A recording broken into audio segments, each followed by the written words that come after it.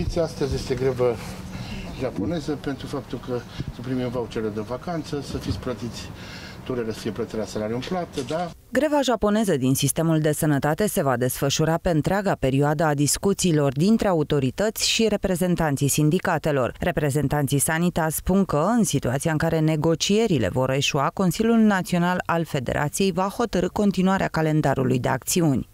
Personalul din sănătate n-a avut nicio creștere salarială în ultimii patru ani, ceea ce oamenii noștri nu mai fac față. Credeți-ne că avem infirmiere care iau și asistenți care iau 3.000 și ceva de lei. Nu este o minciună, au crescut nu salariile, au crescut venitul, nu înseamnă venit, înseamnă venit impozabil.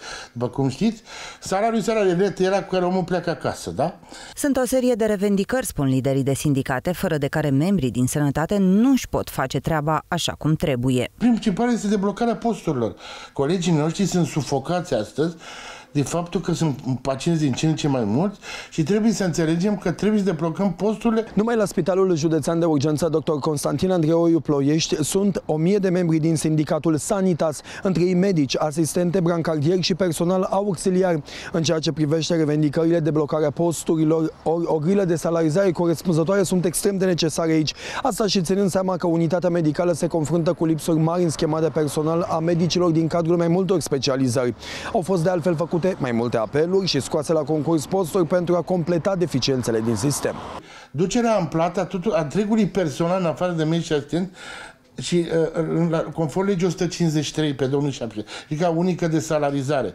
Acea lege în care toți trebuia să ajungem la un nas, să ajungem la un uh, numitor comun. Din păcate există brancardieri, îngrijitoare, uh, personalul de zis care nu au primit acest drept. Iar situația din teren reflectă realitatea cu care se confruntă personalul medical. De pildă, un brancardier de la Spitalul Județean Ploiești, secția exterioară de pe Buna Vestire, este exemplu clar că lefurile, în unele situații, sunt extrem de mici.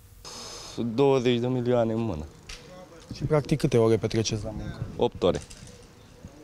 Și, cum să vă spun, cei 20 de milioane care îi luăm, avem și bonurile integrate.